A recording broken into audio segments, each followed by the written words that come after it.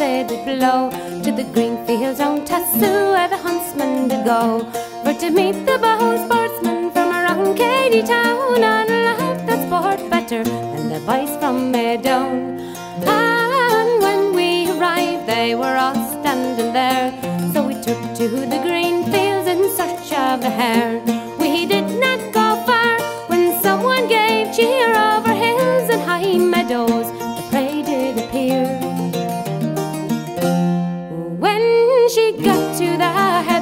She tried them to shun, but her dogs never missed one inch where she'd run.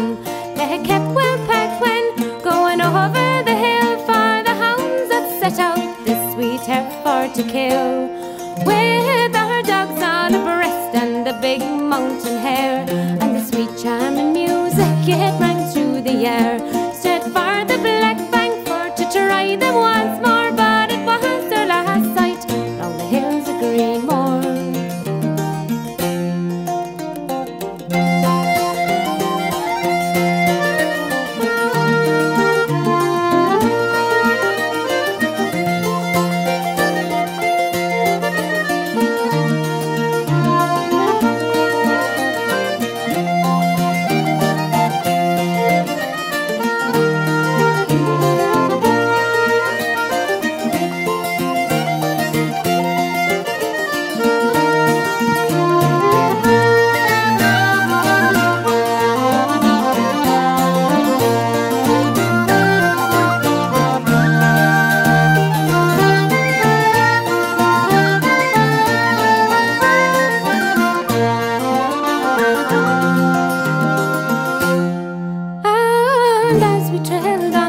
On to where the hare she did lie, she sprang to her feet for to bid them goodbye.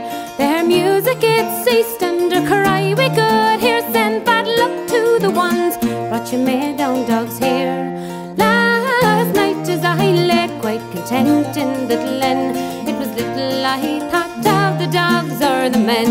But when going home at the clear break of day, I could hear the loud horn young Toner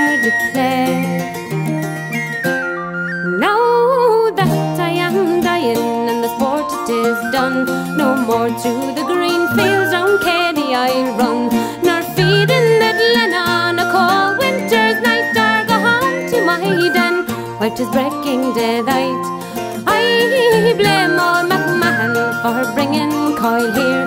He's been at the same caper for many's a year.